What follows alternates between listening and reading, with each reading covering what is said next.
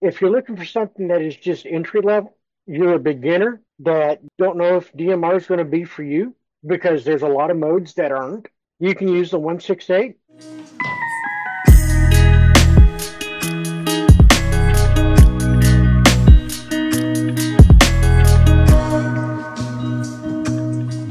It is great. I still have yet to find anything I don't like about it. But if you're going to be one of the ones that are uh, mountain bikers or uh, first responders, Skywarn operators, folks that go out for the uh, community SAR operators, I know that we have them here in Oklahoma. I don't know if Larry has them over in Arkansas, but I know they're out on the West Coast as well. But that's when I would go to the 878 portability, still have the APRS function, and you have to where you can do the SMS texting off of both 168 and the 878. But if I'm going to need for just sheer raw power to make the trip into the machine, hands down, go to the mobile. Get the 578, get your turbo power, solid 50 watts out. That is going to make the trip. And if you are uh, techy enough and want to do some the ISS work, you can do it off the 578 as well. Just make sure you drop down to low power. And the one thing to remember with the radios is they are what you make of them. So if you don't want to take the time to learn your equipment, that's where frustration comes in. And with the 878, the 578, we've already got the courses up with every radio that we sell. They do come with Bridgecom University. So the one thing we don't have on there is the new satellite feature that was added to the firmware. So that is something that isn't in the university yet uh, once I have time to actually learn that feature, that'll be something I can make the video on. You hadn't done that yet? Yeah, um, you know why. I'm still working on the 168 videos. I played with it. Um, heard a lot of lot of traffic. It's just my antenna uh, that I had built. Built the tape measure antenna. Just really, I didn't have it tuned all the way solid on the two frequencies. So do a little bit of homework, get those uh, tape measures cut where I need them. And I'm going to try it again. Um, I do have an application that tells me where the ISS is at any time, day or night.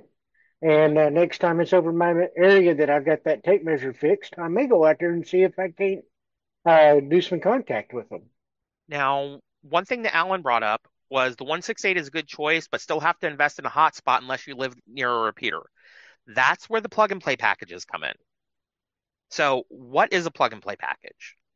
With the 878, it is a done for you solution that you don't have to worry about programming in the Brandmeister network uh, talk groups into the radio.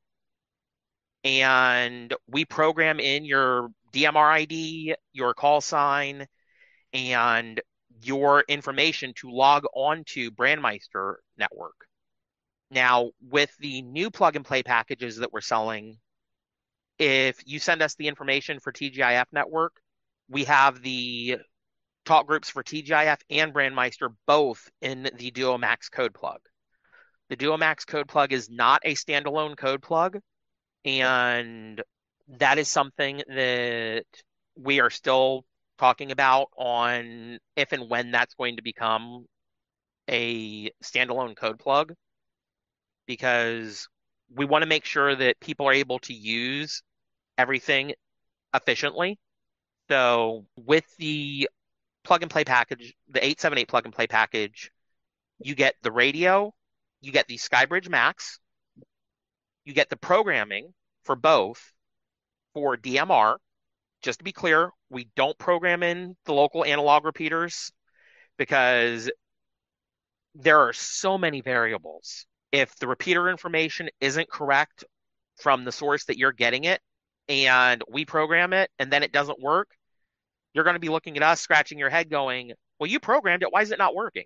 Or the thing and, that I, that I, I, I don't miss hearing is, Hey, I bought a plug and play. It plugged. It ain't playing. Yeah. And the biggest thing that I can say when it comes to the plug and play package is shutting down the SkyBridge is vitally important yes, the correct yes, way. Yes.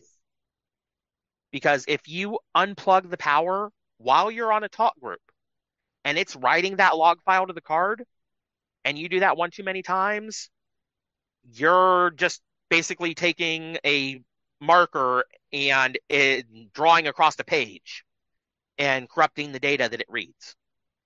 And then you wonder why it's stuck on initializing. Yep. And that is one of the things that is the most common issue I see is people have unplugged the SkyBridge without going to the dashboard screen and clicking power and then shut down and waiting the 30 seconds to unplug it. Because you got to remember the SkyBridge is a mini computer that has a multi-mode digital voice modem attached to it. And if it's not properly shut down, it's like yanking the power cable out of your uh, desktop computer while you're in the middle of copying files to the hard drive. Do that enough times, and Windows is going to be like, hey, um, you know what you were trying to do? Yeah, I can't do that anymore because I don't know where these files are. And then you're on the phone with Geek Squad or Dell or HP going, yeah, um, I need you guys to fix this because I have a warranty. And they're going, well, what happened before it did this? So that is one of the key things with the hotspots.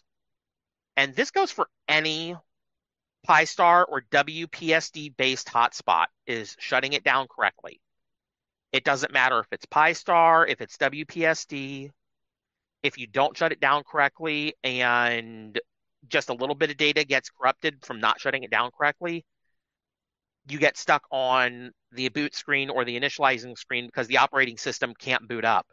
And the screen is waiting for data from the operating system to feed through the M- MMDVM board to the screen because that's how the screens are connected is the MMDVM board. So that data channel gets corrupted and Dan, when you're shutting down your hotspot, just to be clear, with the SkyBridges, it doesn't completely shut down the way that you might think it does. It doesn't turn off like a computer. What it does is it stops the operating system and says, okay, full stop. Don't write any more data to the card. Don't do anything else. Just go to the stop screen and it should say MMDVM stopped on your SkyBridge. Uh, if you're not seeing that message, there may be some corruption that's already happened. Dan, if it's staying on a usable talk group, then it may not be getting the shutdown command from the software, and that means something's probably happened with the software and probably need to re-image the card and I actually have a PDF file that has pictures in it as well as instructions step by step on how to redo that. And we can set up a remote session where, you know, you just act as my hands. I log into your computer and we can take and reimage that card too, as long as you've got the micro SD card reader. That's well, not a problem. That's the thing that might, I'm not saying it will, but I would definitely give it a try, is updating the uh, software. Yes. Um, had, I had trouble with mine um, not connecting. It wouldn't hear my radio, wouldn't hear anything I had. Went in and noticed in the upper right hand corner it said update available. I clicked on it, let it run its update, and hey, the, everything was right in the world again. I could talk. So I would try that. Yeah, that's actually a very good step. Is if it gets stuck and it's you know some weird behavior, a couple of things you can try is one, clicking the update available to run the update. Two, if your host files got corrupted, go to admin on the dashboard on WPSD. Once you're on the admin uh, panel, you'll see there's an option for advanced. And if you click advanced, there'll be a whole line that comes up. And one of those options is tools. If you mouse over tools, you'll see update host files. Click update host files and that will re-download the host files and reset those to make sure that they're correct. So if any data got scrambled in the host files that is causing this odd behavior, and this works for the SkyBridge, the latest version of the ZUMspot, um, as well as a couple of other hotspots that are now using WPSD to update those host files. So if any odd behavior that's caused by a corrupted host file gets sorted out and then you just need to reboot the unit using the reboot command on the power tab. Using that power button and that feature will save you a lot of heartache and misery and headache.